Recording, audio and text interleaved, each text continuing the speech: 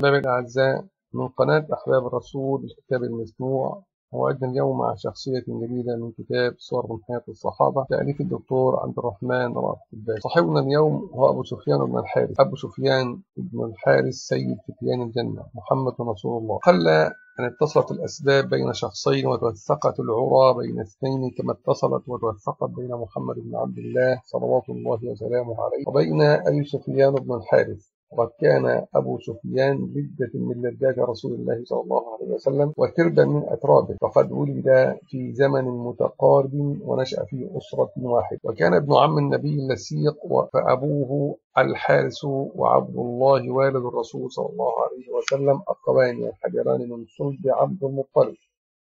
ثم إنه كان أخا للنبي من الرضاع.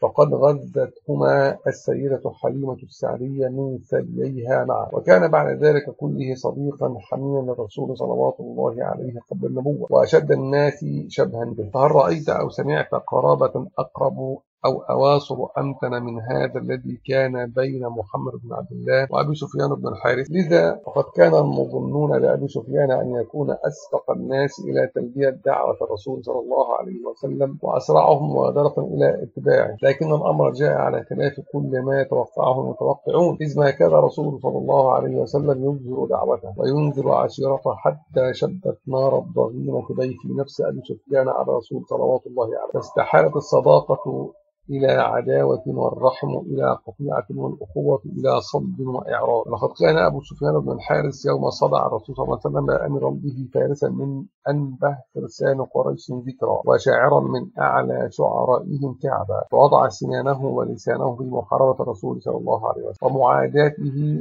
ومعاداة دعوته. وجند طاقاته كلها للمكاتب الإسلام فما خارت قريش حربا ضد النبي إلا كان مسعرها ولا أوقع بالمسلمين أذى إلا كان له فيه نصيب. ولقد أيقظ أبو سفيان شيطان شعره وأطلق لسانه فيه جاء الرسول صلى الله عليه. فقد فقال فيه كلاما مقذعا فاحشا موجعا. وطالت عداوة أبو سفيان من النبي صلى الله عليه وسلم حتى قاربت عشرين عاما. لم يترك خلالها ضربا من ضروب الكيد للرسول إلا فعله ولا صنفا من صنوف الآذى للمسلمين إلا اجترحه وباء به. وقبيل فتح مكة بقليل كتب كتب لأبي سفيان أن يسلم وكان لإسلامه قصة مثيرة وعتها كتب السير وتناقلتها أسفار التاريخ. فلنترك للرجل نفسه الحديث عن قصة إسلام الإسلام فشعوره بها أعمق وصفه لها أدق قال لما استقام أمر الإسلام وقر قراره وشاعت أخبار توجه الرسول صلى الله عليه وسلم إلى مكة ليفتحها ضاقت علي الأرض ما وقلت لأين أذهب؟ ومن أين أصحب؟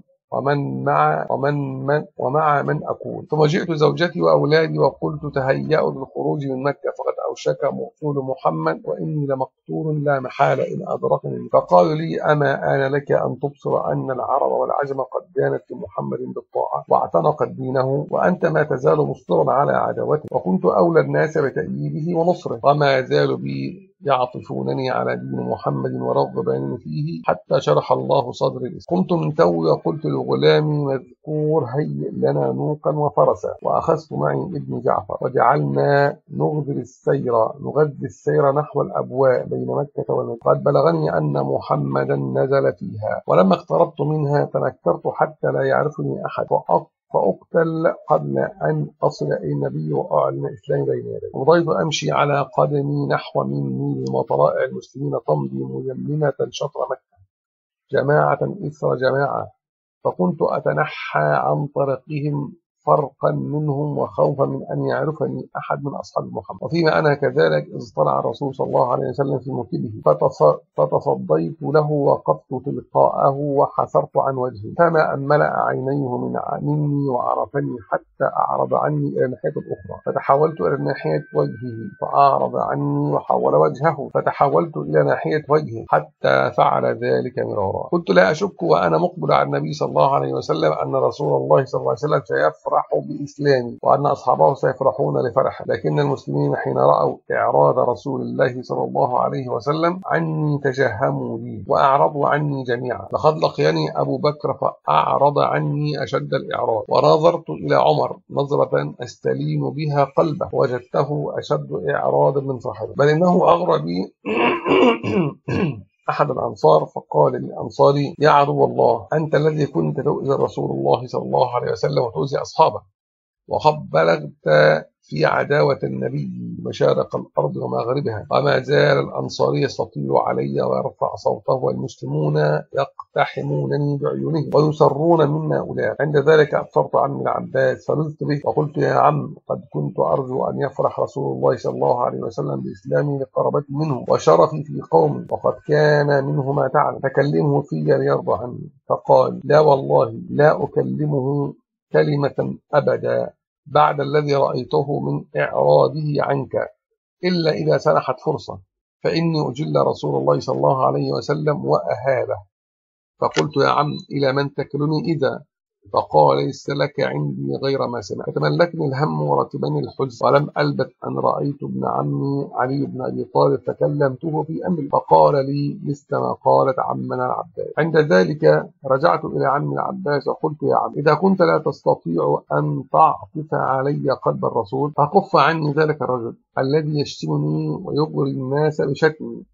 فقال صفه لي فوصفته. له قال ذلك نعيمان بن الحارث النجاري. فأرسل إليه وقال يا نعيمان إن أبا سفيان ابن عم رسول الله صلى الله عليه وسلم وابن أخي وإن يكن رسول الله صلى الله عليه وسلم سخطا عليه اليوم فسيرضى عنه يوما فكف عنه. وما زال به حتى رضي أن يكف عني وقال لا أعرض له بعد الساعة. ولما نزل رسول الله صلى الله عليه وسلم بالجحفة فجلست على باب ومعي ابني جعفر. قائما فلما رآني وهو خارج من منزله أشه عني بوجهه فلم أيأس من استرضائي فجعلت كلما نزل في منزل أجلس على بابه وأقيم ابن جعفرا واقفا بإزائي فكان إذا أبصرني أعرض عني. وبقيت على ذلك زمنا فلما اشتد علي الأمر وضاق قلت لزوجتي والله ليرضين عني رسول الله صلى الله عليه وسلم أو لأخذن بيدي ابني هذا ثم لنذهبن هائمين على وجهينا في الأرض حتى نموت جوعا وعطا فلما بلغ ذلك رسول الله صلى الله عليه وسلم رق لي وأما خرج من قبته نظر إلي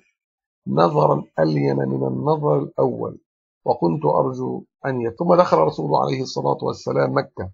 فدخلت في ركابه وخرج إلى المسجد فخرجت أسعى بين يديه لا أفارقه على حال. ولما كان يوم حنين جمعت العرب جمعت العرب لحرب النبي عليه الصلاة والسلام ما لم تجمع قط وأعدت للقائه ما لم تعد من قط. وعزمت على أن تجعلها القاضية على الإسلام والمسلمين. وخرج رسول صلوات الله عليه لقائهم في جموع من أصحابه فخرجت معه ولما رأيت جموع المشركين الكبيرة. قلت والله لأكفرن اليوم عن كل ما سلف مني من عداوة رسول الله صلى الله عليه وسلم. وليرن النبي من أثري ما يرضى الله ويرضيه.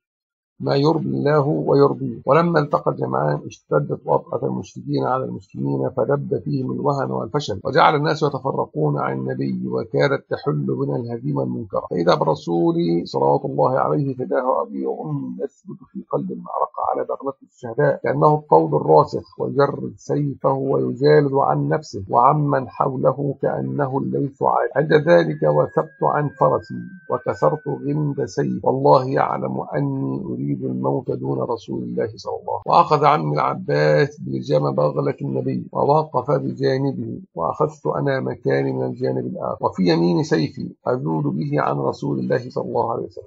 أما شمالي فكانت ممسكة بركابه. فلما نظر النبي إلى حسن بلائي فقال لعم العباس من هذا؟ فقال هذا أخوك وابن عمك أبو سفيان بن الحارث. فرض عنه أي رسول الله. فقال قد فعلت وغفر الله له كل عداوة عادينيها. فاستطار فؤادي فرحا برضا رسول الله صلى الله عليه وسلم عني وقبلت رجله في الركاب ثم التفت إلي فقال أخي لعمري تقدم فضارب ألهمت كلمات الرسول صلوات الله عليه حماستي فحملت على المشركين حملة أدالتهم عن مواضعه وحمل معي المسلمون حتى طردناهم قدر فرسخ وفرقناهم في كل وقت ظل أبو سفيان بن الحارث منذ حنين ينعم بجميل رضا النبي عنه ويسعد بالكريم صحبته ولكنه لم يرفع نظره إليه أبدا ولم يثبت بصره في وجهه. حياء منه وخجلا من ماضيه معه. وقد جعل أبو سفيان يعض بنان الندم على الأيام السوداء التي قضاها في الجاهلية محجوبا عن نور الله محروما من كتابه. فأكب على القرآن ليله ونهاره يتلو آياته ويتفقه في أحكامه ويتملى من عظامه وأعرض عن الدنيا وزهرتها وأقبل على الله بكل جارحة من جوارحه.